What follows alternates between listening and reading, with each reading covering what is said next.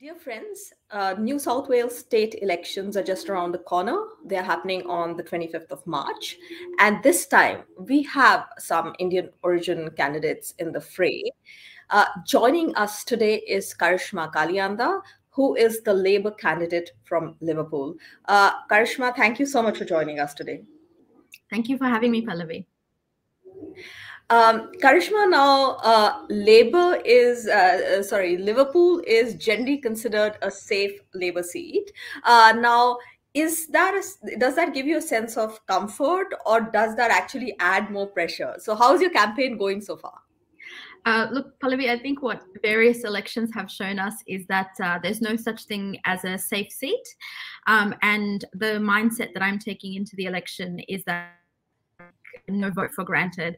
So ever since my candidacy was finalized uh, back in November, I've been, um, you know, being out there as much as possible about what issues matter to them, uh, highlighting the policy platform that Labor is taking into this election, and also really um, highlighting the, the vision um, in terms of what Labor sees for New South Wales and what Labor sees for uh, going forward if a Labor government is elected.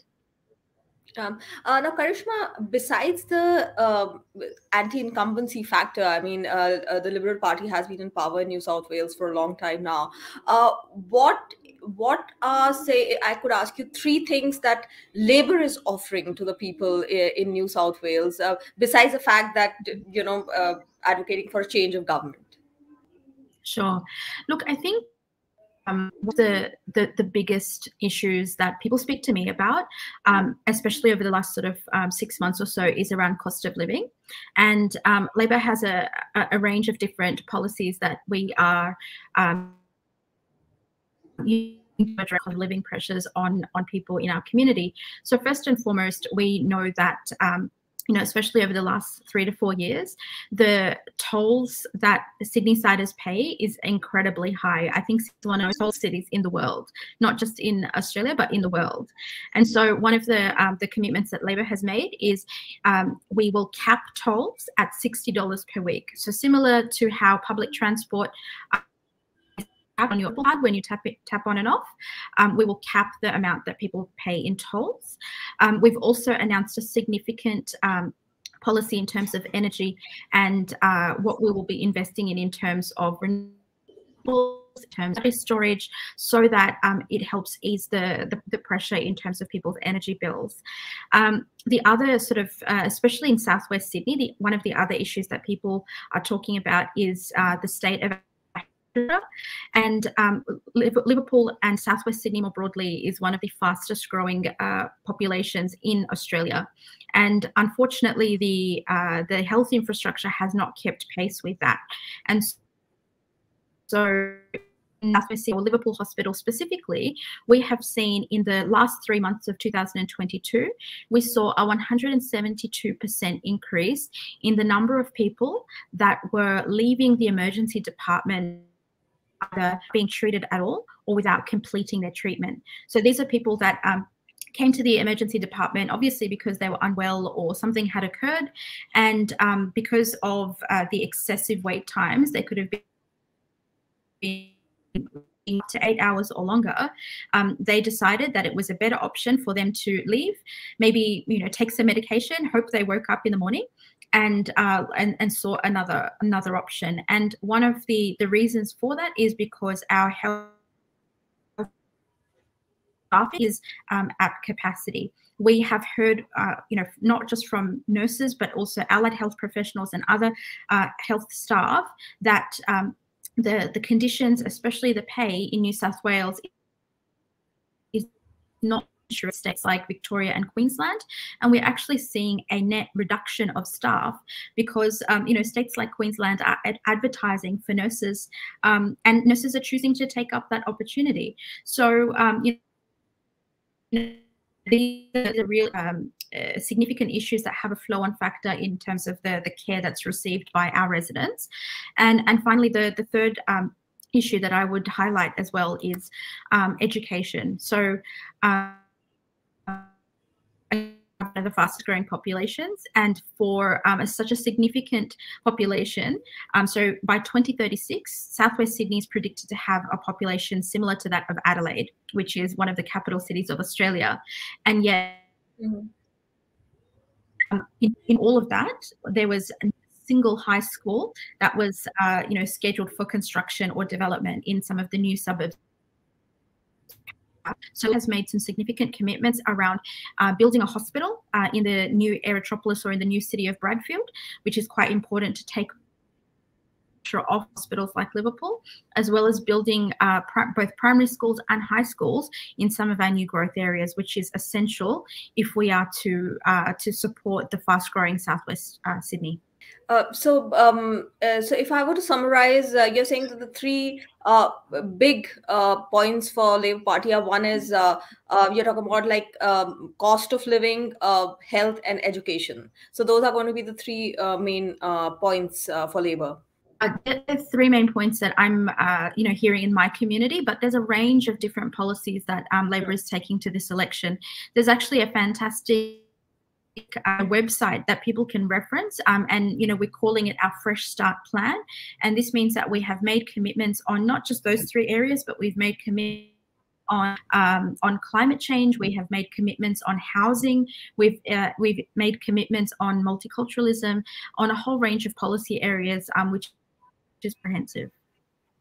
Um, and uh, uh, that was my follow-on question that um, I think Liverpool and Western Sydney also has a pretty vibrant uh, Indian diaspora. Uh, uh, are there any specific issues relating to the Indian Australian uh, community that the party in general and you in particular as a candidate are going to address? Sure. I think um, the Indian diaspora around um, Liverpool is one that I have been um, a part of since my family moved into this area um, almost years ago. And so, um, in that time, obviously, the needs of the community have changed. We're now into sort of our second to third generation of um, of the community, the the priorities and the focuses are also sort of evolving as as um, the community itself changes, and so um, one of the biggest things is how we um, in southwestern and western how we account for the, the different way that our communities come together, the different uh, types of engagement that our community have with various services and institutions and things like that. Um, I think, you know, this was especially highlighted where um, you know part of the uh, the reason why southwestern and western Sydney was hardest hit was because um, you know those in government didn't quite understand the you know the diverse nature of our community and and what that meant in terms of policy implementation in particular.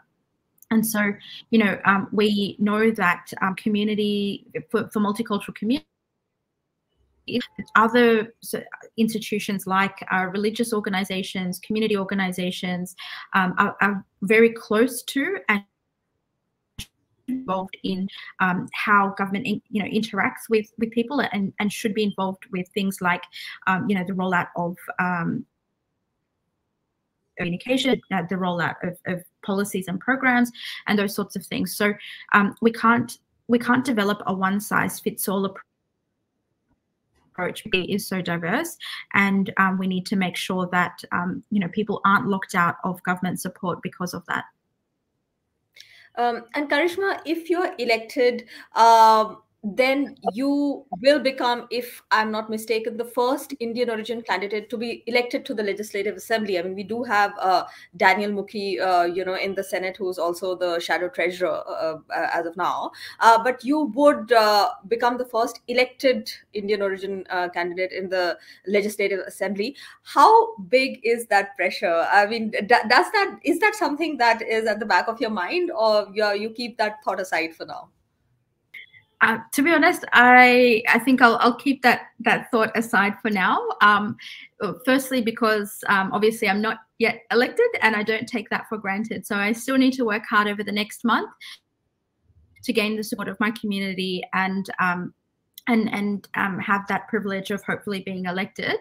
Um, but secondly, I think it's very important that um, you know this isn't seen. This is this isn't seen as as right you know our parliaments our um, you know our institutions our commercial organizations every aspect of our society should mirror the diversity that exists within our broader community um, you, you highlighted a really significant point which is um, you know, in, in political spaces, we don't have enough uh, cultural and linguistic diversity.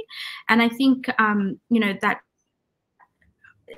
that results in a in a significant challenge for our institutions because um, you know being from a culturally diverse background it means that um, a lot of experiences, a lot of situations, and a lot of things that occur within our community. Um, you know, I or other people who have had a similar experience would have understand that and can relate that in in how we um, you know how we present decisions and policies and things like that. And so I hope that um, this is uh, this is the start of seeing greater diversity in our candidates, regardless of political background um, and the you know the institution. Um, and one uh, last question, Charishma. You have come this far. Uh, there'll be a lot of people uh, who are going to be watching you.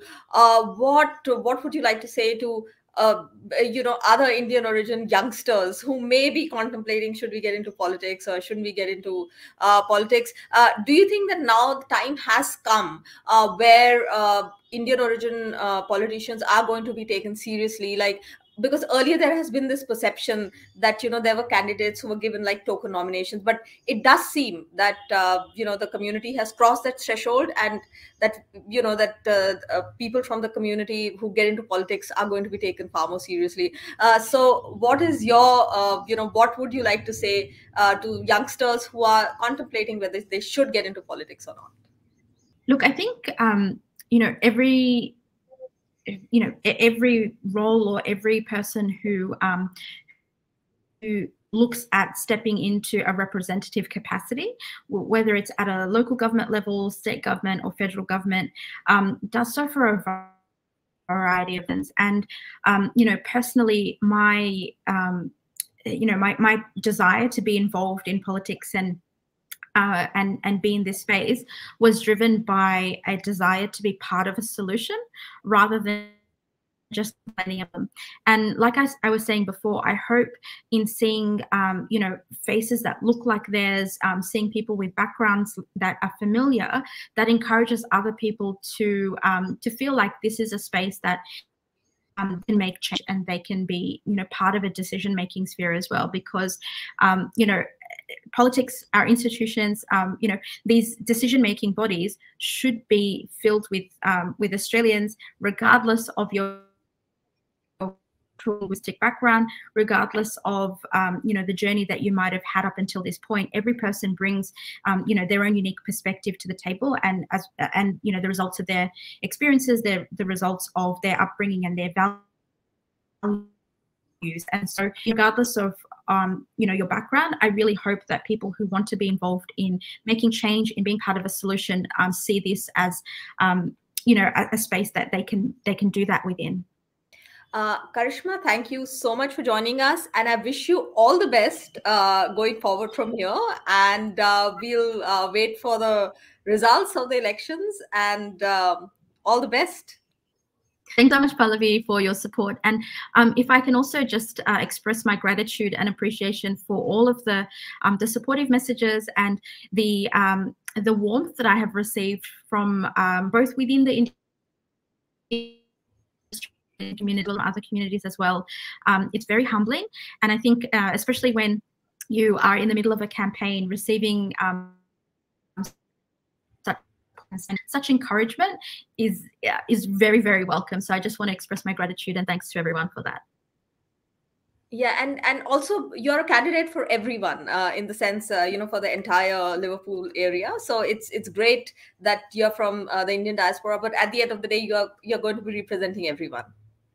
Yes absolutely. And um, i hope i have uh, i issues um, in terms of the many representatives who have um, represented this area, uh, both at uh, state, federal, as well as local government level. So, um, you know, they're really they're really good lessons to take on. Thank you so much, Charishma. Thank you so much. Thank you, Pallavi. Take care.